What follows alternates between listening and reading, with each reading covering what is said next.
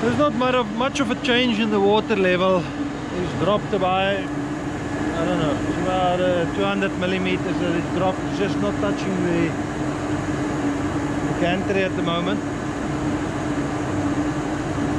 If it's called the gantry.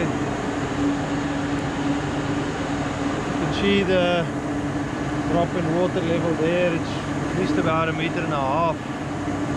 That level flow is still very fast. The last figures I saw, it should be at about what 1,200 cubic right now.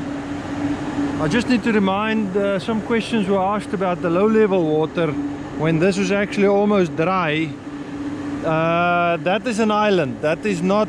Uh, this is not the whole of the Orange River. This is only a small, small part of it. Most of the water goes on the runs down on the other side of that uh, island. So uh,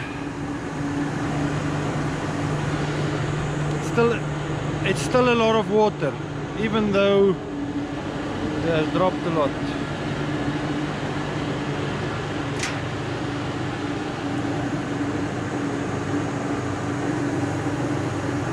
I haven't, uh, I don't have enough time to check all the other points that I usually do. Just wanted to have a quick look at what's what's going on here. Couldn't do it yesterday. Uh, I'll do an update later. See you on the next one. Cheers.